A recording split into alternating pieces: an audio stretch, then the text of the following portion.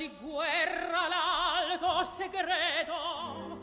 Egli fuggir volea con lei fuggire. Traditori tutti a morte a morte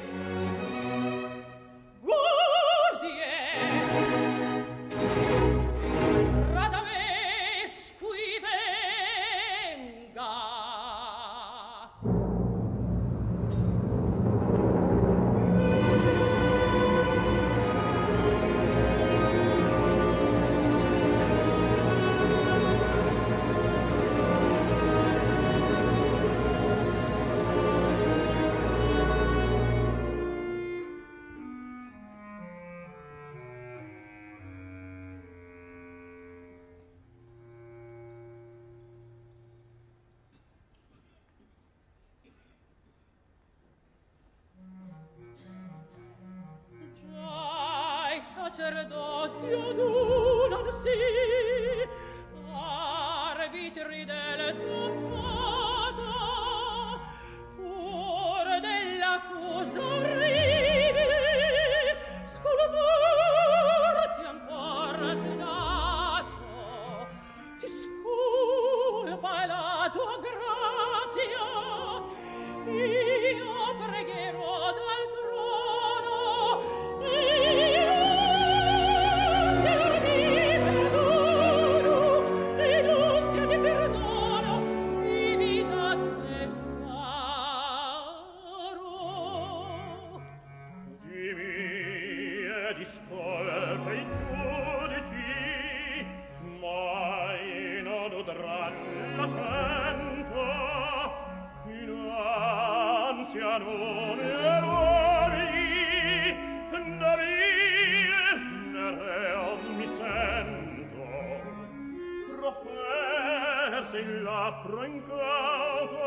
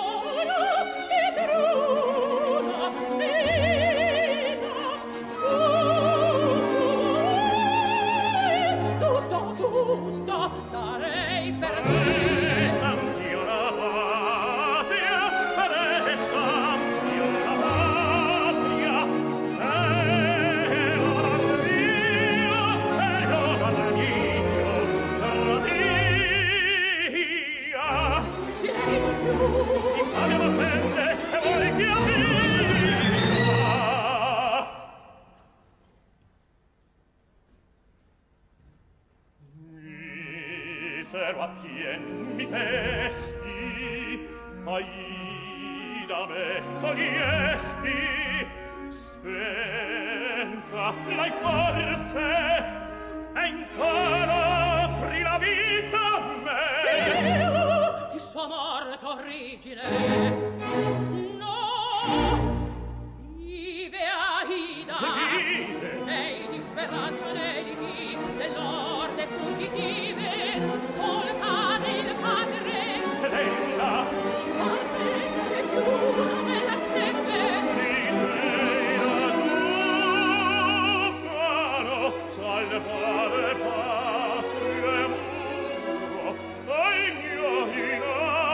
ventura digni per lei vorrà. Ma se ti salvo giurami che più non la vedrai. Al posso